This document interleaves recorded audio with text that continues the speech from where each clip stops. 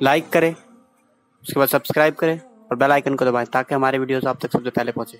कि एक बुज़ुर्ग फरमाते हैं कि मैं अपने दोस्त की कब्र पर गया और मैंने दुआ की कि अल्लाह इसके अहवाल से मुझे बाखबर फरमा। ऐसे मेरी आँख लग गई तो मैंने क्या देखा कि वो उठा और उठने के बाद कहता है कि तुम लोग कितने खुश नसीब हो कि हर हफ़्ते तुम्हें हज की सआदत नसीब होती है। तो मैंने कहा, हर हफ़्ते कोई हज कैसे कर सकता है? तो उसने कहा कि जब मुसलमान जुमा की नमाज़ अदा करते हैं तो जुमा की नमाज़ की बरकत से उन्हें हज करने का अजर सवाब मिलता है। और जब वो जुमा पढ़कर लौटते हैं तो उस वक्त अल्लाह तबारक व ताला उनकी ज़िंदगी के, यानी हफ़्ते भर में उन्होंने जो गुनाह किए हैं, उन सारे गुनाहों की अल्लाह तबारक व ताला मगफिरत फरमा देता है। और फिर उसने कहा, अफसोस, जब मैं नेक आमाल कर सकता था तो उस वक्त मुझे नेक अमाल करने की अहमियत नहीं पता थी। और अब जबकि हम नेक अमाल नहीं कर सकते तो यहाँ कब्र में आने के बाद पता चला कि नेक अमाल की अहमियत क्या है, उसकी बरकतें क्या है, उसका सिला क्या है। लेकिन जब नेकियाँ कर सकते थे, उस वक्त सिले की अहमियत पता नहीं थी। आज सिले की अहमियत पता चली है तो नेक अमल कर नहीं सकते। मेरे प्यारे आका सल्लल्लाहु अलैहि वसल्लम के दीवानों, बहुत मुख्तसर से ज़िंदगी लेकर के हम आए हैं।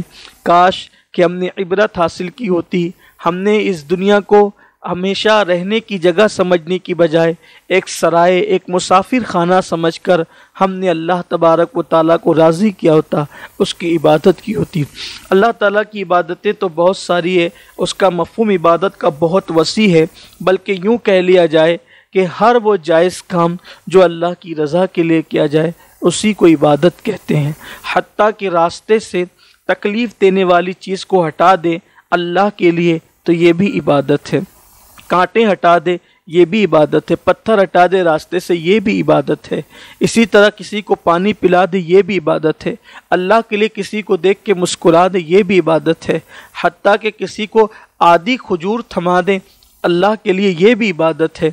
बल्कि एक मरतबा एक साइल आया उम्मुलमिन अम्मा आयशा सिद्दीक़ा सलाम के सामने उसने कहा, मुझे कुछ इनायत फरमाएँ तो आपके हाथ में खजूर थी, आपने आधी उसके हाथ में दे दी।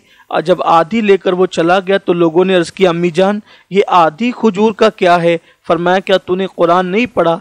अल्लाह फरमाता है फ़मई अमल मिसकाल ज़र्रतिन खैरयरा वमई अमल मिसकाल ज़र्रतिन शर्रयरा एक ज़र्रे के बराबर नेकी की होगी तुम्हें वो भी दिखाया जाएगा और एक ज़र्रे के बराबर बुराई की होगी, तुम्हें वो भी दिखाया जाएगा, यानी उसका सिला दिया जाएगा। फरमाया कि जब ज़र्रे बराबर नेकी की, जब उसका सिला मिलेगा तो इस आदि खजूर के अंदर तो कई ज़र्रात मौजूद है, फिर उसका सिला क्यों ना मिलेगा?